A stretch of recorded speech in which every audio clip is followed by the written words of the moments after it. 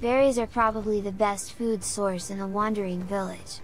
It can be gathered automatically, and ignoring the temperature, it is basically an infinite food source. In this video, I will explain how to collect berries and attain 100% efficiency the fastest way. This trick is really simple, but is pretty much ignored all the time.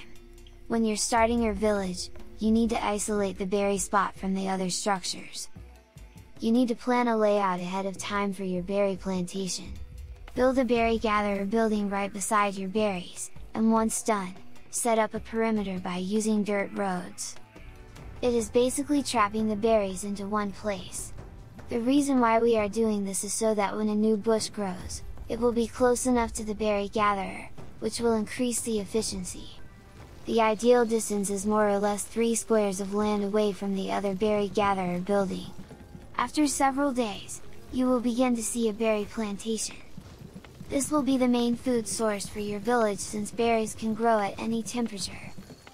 This will also prevent future hunger and starvation for your villagers if you forget to switch the crops from your farm.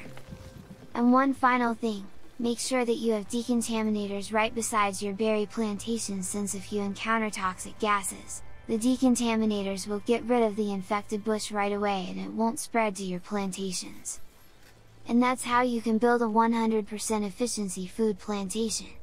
Thank you for watching this video. Consider subscribing and liking this video if you happen to find it helpful. Have a wonderful time playing the Wandering Village.